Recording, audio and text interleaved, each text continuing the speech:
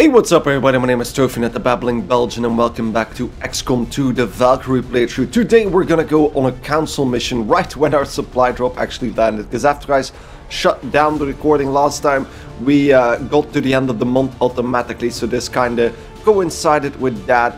Um, this could be one of the shortest episodes ever because of course we were scanning for a supply raid which is almost done as well but before I make any rash promises, let's go over the team first. We're gonna take Elena the Reaper, Marina the Grenadier, Lena the Templar, Christina the Sharpshooter, Emily the Ranger, and Sarah the Specialist. About half of our team can still get promotions, which is what I'm aiming for as usual. We can get an engineer and some intel from this if we manage to rescue a VIP from an advent vehicle. Here we go. And there we go, dropped off in the city. And another outside level, that's cool. But... Menace 1-5, we have a confirmed location for the VIP. Move to rendezvous. Eliminate all hostile contacts. So we even got an immediate extraction point already. We will get reinforcements once we save the VIP, but this seems like a very, very short mission. There's supposed to be nine enemies on the map. Uh, nine enemies means that's going to be nine with another reinforcement on top of that. So let's just spread out a little bit to start. Uh, so we can start spotting some enemies. And I think Lena might have spotted something. There we go. Two troopers and a priest. So basically the weakest of the bunch. But is there a, a tower over here as well? No, it doesn't seem like it. So let's move everybody closer. Oh, and we spot another badge, the two codexes and a specter on the right there. Okay, that should be fine still. So there's probably one more batch left then with about, I think a purifier, um, a gatekeeper and something else. I'm not 100% sure. Let's go further. So those guys are actually moving away past uh, one of those antenna, which is exactly what I thought was going to happen. Which means that we might be able to focus on the two codexes first. Now the question is, did I bring a flashbang along? I'm hoping I did. Do we still have sight on those guys? Yeah. If I move to the left just a little bit, I should be able to uh, ignore those for now. Um, don't know if we spotted them with uh, Elena yet. I don't think we did, but... Let's move up. You know what, let's start with a sniper rifle shot on the elite priest. So the priest has the highest health bar, so dealing damage to him should be our top priority. So there we go, starting it off with a sniper rifle shot. We should be, there we go, 13 on the critical and burning. We should be far enough away from the codexes and the specter to not trigger them. But I guess we'll see in a second. And there we go. Okay, that's fine. I think Elena should be able to finish off the priest here. So if we can get a sting in on the priest. Fear my strike. Like this. There we go. Ah, he doesn't go down. He goes into stasis probably. Yeah, there he goes. That's annoying. Um, and I can move Sarah over here. That should not trigger the codexes or the specter. But I am now able to hack that tower. I'm just gonna take a look. Because that might actually help us out in some capacity. So system override. Hmm, reduce enemy will by 50%.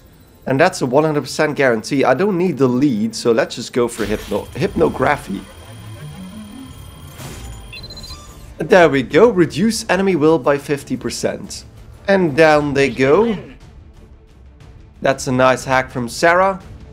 Which should allow us to just kill everything else with a few uh, actions here. Um, first things first, I should probably take care of the cover of that elite trooper over here. So if I do demolition, we can take out that cover. We have a free shot for anybody who wants to take a shot at him. There we go, out in the open. No need to worry about anything anymore. Emily now has a nice flanking shot. It's only 65% though, so I might just I think it's too early for run and gun, so I'm just gonna try and do this on that one trooper. And that was a miss, but we did get 3 damage out of that, which means that Lena can definitely render this guy now. Uh, I can try and hit the priest, but that's not gonna help us because he's in stasis. Uh, so let's just... I mean, I can try it anyway. There we go.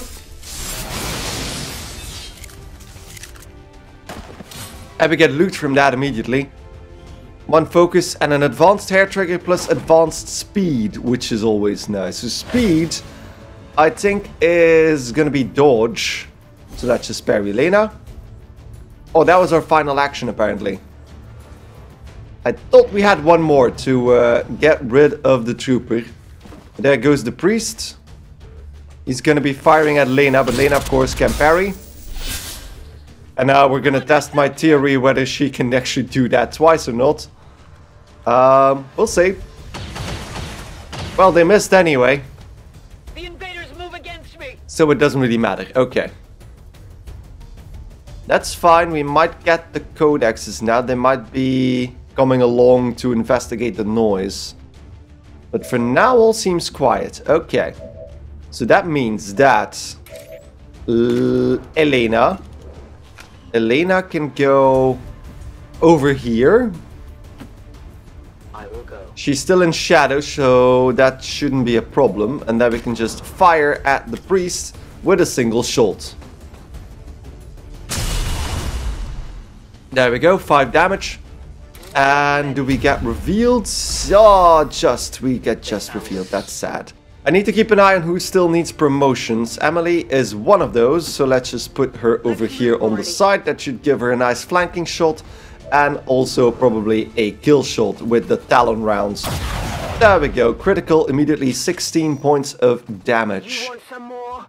Now we need to move back to the center of the area. We're gonna have to do that carefully, just to not trigger anything. Um, so, especially... Yeah, they're still over there. So I'm wondering if this would trigger them. That might be just too close. So alien activity, but it seems to be pretty quiet. Okay, then that means I should put Elena into shadow. And then move closer to the Codexes and the Spectre. The time for hiding is over. There we go. Those are those two guys. And I think I should start this off with a flashbang. I still have one with me. So if I can toss that over there, that should hit hopefully all three of them. I'm not entirely sure. It seems to hit the two codexes, which is enough for me. Um, I do hope, because this is, is this the, the van we need to protect? Uh, I don't know if this flashbang now does damage on those things. But I guess we'll see. Flashbang, here we go. I don't think that should damage the truck, right? There we go, volatile mix, but I don't think the... The truck is active. Oh, we, we even missed the Spectre. But I know the Spectre's abilities are not tied to being disoriented. So even without that, he would have been uh, he would have been fine. And that one codex seems to be staying put. Okay, how far can Lena go? I should probably not do this. I think Lena can go all the way up to the guy in the back. Or she can kill this guy. Wait a second. I think with the sniper rifle we should get a shot. Yeah, that's a 100%. Ooh. They're all 100% shots. Let's just try and fire at the back one with the highest health bar. With the sniper, we're finally using Christina as a sniper, by the way. That was not a kill. Interesting. Um, let's use the grapple to see how far we can get. Um, so we can get on top of the roof here. There we go. With the Viper suit, finally using that. Uh, we get a nice flank shot on the Codex from here, but what I want to do is, of course, have a shot at the... Where is he? Going in for the At the. Spectre. So if we move over here, we should get... Ah, we're not to get a kill, are we? Let's save her for last. I have another shot with Elena as well. From Shadow, that might keep her in here. Come on, let's keep her in Shadow. So that's a kill. That's a kill, and we are revealed. Okay. Not a problem. Um, then, Sarah, I think she can probably fire at the Spectre, or if we move her a little bit closer, she uh, might be able to take a shot at, yeah, that exposed Codex. Let's fire at him. Take him out. That's another Codex down. And then Lena, I can use her to first rend the Spectre over here. Like this. You will pay the price. So that's gonna be some nice damage on the Spectre. 10 damage, very, very nice. And he's disoriented. We do get momentum, but I'm gonna use that to parry. And then Emily can go over here. And hopefully get a critical on the Spectre. Because if she goes down, I use the grapple to give her a little bit more momentum. And then we can fire at the Spectre, hopefully critting. There we go. The Talon rounds are really, really reliable. And we get another focus for uh, Lena. There we go. It was that? I can still put it on Overwatch. That was interesting. So now we still have to deal with the most annoying batch. Interceptors are inbound on your current position. Firebrand has a limited window to provide extraction. Okay. Then that means that we need to move up as quickly as possible. Christina is still pretty far away, so let's just move her up as far as we can. And I'll see you guys in a second. So let's use Lena to make a ghost as preparation for the Gatekeeper. Gatekeepers are psionic units, so they take increased damage from Rend and other Templar abilities, so that's going to be really, really nice if we can pull that off. But otherwise, still moving up. Okay, nothing happened enemy-wise, which is good. I'm gonna move Sarah up to the door of the truck. That should allow us to hack it. She's gonna be wide out in the open though. So like this. And that spots us, yeah. Ooh, yeah. Purifier, Shield Bearer, and a very, very scary Gatekeeper. Okay.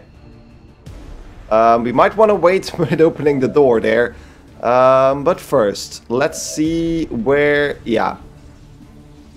Hmm. I feel like if I move to the sides here, I might get a nice line on maybe two of them. So let's move inside with Marina.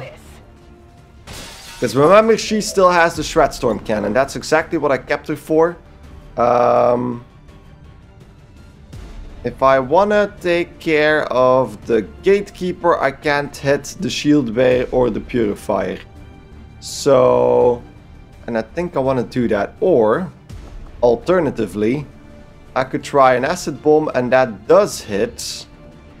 That does hit both of them. Yeah, an acid burn is going to be nice because it's going to take care of their armor even better than the Shredstorm cannon. Because acid is just made for shredding armor, so let's just do that. Well, one, two, three. Bombs away, especially because the uh, the gatekeeper is really hard to hit. Now, there's two more armor I need to take care of there. Um, I could get a little bit closer, but my shots right now are probably horrible on the gatekeeper, yeah. Hmm. Can I get up here somehow? No, not with Elena at least. Because I still have Banish. Um, so if I move over here, I'm really close to, uh, to Marina here. But that should have improved my shots just a little bit. Yeah, 56, and with Banish that's gonna be 41. But we have shredding, and that should do quite a bit of damage. I don't have... Do I have an autoloader on this? No. So I only have three shots. Which isn't good now, is it? I could blow up some vehicles, but I don't think I need to do that now. Let's not do that. So let's just fire at the... I'm gonna have to fire at the gatekeeper, aren't I? I'm gonna fire with banish anyway, because three 40% chances are gonna be better than just one 56% uh, chance. So there we go. You are banished. I'm not gonna be able to use that in the rest of the match anyway, so that's a miss. And then we get a hit. There we go. That's all I wanted. That armor shredded. That armor shredded was enough for me. Because then I have a little bit of a, a little bit of an idea. Because um, we still have this ghost here, and ghosts can do that same Ionic Storm ability. And that Ionic Storm ability is gonna basically hit everybody. Uh, so let's do that right now. Sacrificing the ghost just to do a bunch of damage. And acid burn doesn't really matter. Because she's gonna die now immediately anyway. Ooh, there we go. The gatekeeper. it killed it killed the purifier and the shield bearer in one go, which means that Lena can now technically finish this off. But do I want to give that last kill to somebody else? Who still needs a promotion? Um, we could give that to Emily, or at least try to give that to Emily. Because I don't think she has a promotion in the bag yet, and killing a gatekeeper, oh, damn. That's not gonna happen, is it? 37%. Ah, we did. Of course, with the stock, that, that's... That uh, is not a problem at all. There we go, killed. And I don't think that even gave us... No, I don't think that gave us anything. So let's just reload. There we go. And then you use Sarah to open up the door. And that should give us something nice as well, because that always comes with a bit of a reward. This soldier's hacking stat permanently increased by 20%, with but 20, not 20%, but 20. That is just amazing. Yeah, definitely. That's gonna put her tech score up to 175, which is higher than a Sectopod. That's gonna be really, really nice. That's a nice bonus. Thank you for that door. Yes, you are. You are in. Uh, so that means that we can now open up the door if you want to. I could technically start spending the focus to get that trophy, but I'm not going to. Uh, there's not going to be enough enemies to just uh, gather that up again, so I'm just going to grab this and then move further. So that's nine enemies, so there are no enemies on the field anymore, but there might of course be more spawning in a minute. So, next turn, let's use Emily to open up the door since she has the most mobility. Moving to evac. Menace 1-5, status confirmed. VIP is in tow. Proceed to the extraction point. We will. We're probably gonna get reinforcements in a minute, but uh, opening up the... Opening up... Is, is the door open now? I feel like it is. It should be open. It doesn't show me uh, show it as open, but uh, there we go. VIP straight into the extraction zone because it's that close in front of me. This seems like a very easy mission, by the way. Let's evac that. Do I need to do anything else? It seems like we can just extract everybody now, aside from maybe a few people that are just too far away. But let's move everybody to extraction then. There we go. We do get reinforcements there. The aliens have brought friends. But I mean, we're picking up an enemy transport inbound on your current position. That doesn't really matter because we just need to extract. So whatever's gonna drop there, we don't really care about that anymore.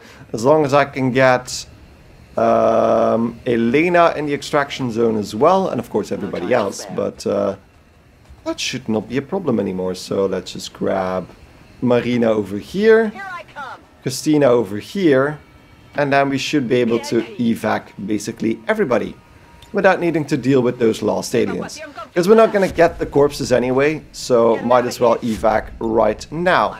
And there we go, Marina is the last one. Let's just leave. Status confirmed. Mission accomplished. Flawless mission. VIP extracted, 9 enemies killed, and only 8 turns taken, so uh, very nicely done.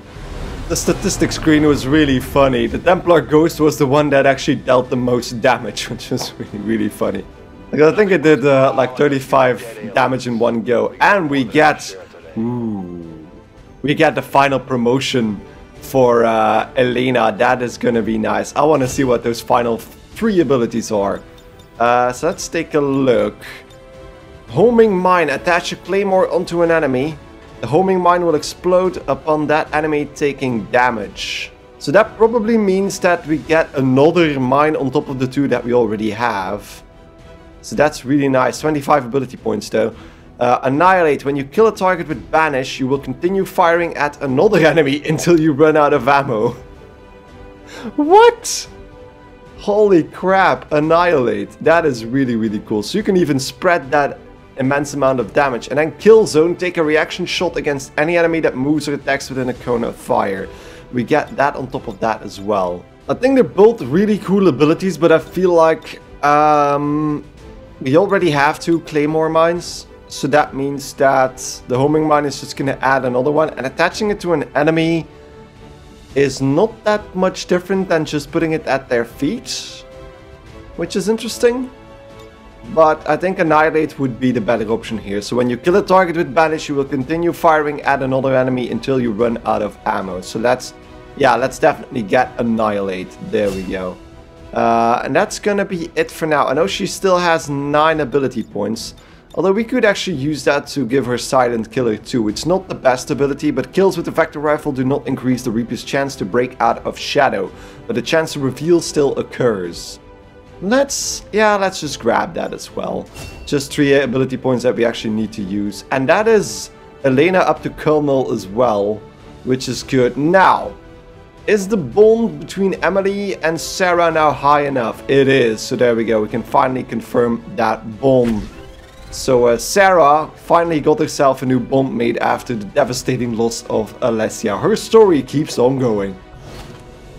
And then we get two Codex Brains, an advanced hair trigger and the advanced speed. It is mobility though. I thought that was just called mobility as well. But advanced speed, we can put that on you any of our soldiers. And your crew have dealt another serious blow to the aliens' efforts today, Commander. And we get 91 intel and Dr. Kalia Chohan an engineer. So that's going to be another uh, female engineer, which is always nice. So welcome, welcome. So we can put it anywhere, but I think by now you might have noticed that we are not lacking in uh, in engineers. So I can uh, actually increase, yeah, I'm going to use her to increase our uh, number of contacts because that's going to be one of our next things to do. But as I said at the beginning of this episode, this might be the shortest episode yet, because I do not have to do any base management. Um, well, barely any. I know there's a supply drop available, um, and that's of course a lot of supplies. I'm not exactly sure where the supply drop is, because uh, I might I might have kind of missed where the supply drop is. It's somewhere on the map. Maybe it's on in America. Is it in America? Ah, there it is. It's in South America. Okay. But we are one day away from uh, getting the Gathering Mob. And there we go. Less than a day away from this. And we get a supply raid. So let's just press OK and we get that immediately. There we go. No need to scan anything else. We're going to go on a raid. Um, it is with loss. We have loss in the area, so we're gonna have to be careful. Let's see who we're gonna take. We are facing a Codex, Andromedon, Elite Shield Bearer, Purifier, Sectopod, ooh, Andromedons and Sectopods. Lancers, Troopers, Heavy Mechs, and Losts. That is quite a bit. That is quite the amount of enemies. But we need that supply raid, because uh, the more resources we get, the better. So I'm gonna shuffle around everybody a little bit to get the best composition possible. I'm gonna of course give the advanced speed to Emily now since she, uh, yeah there we go. She can definitely use that. And there we go, this is gonna be the squad for the next mission, Operation Damned Cobra. We're gonna extract some advanced supplies, which is also always gonna be uh, very, very lucrative. So we're gonna take Hilda, Marina, Jacqueline, Christina, Emily and Sarah with their newly formed bond. This is gonna be very, very cool. But we're gonna take a little break before that. Thank you guys enormously for watching. Hope you guys enjoyed this episode of XCOM 2, the Valkyrie playthrough. And when we get back, we're gonna get ourselves some supplies. So thank you guys enormously for watching. See you guys next time. Goodbye.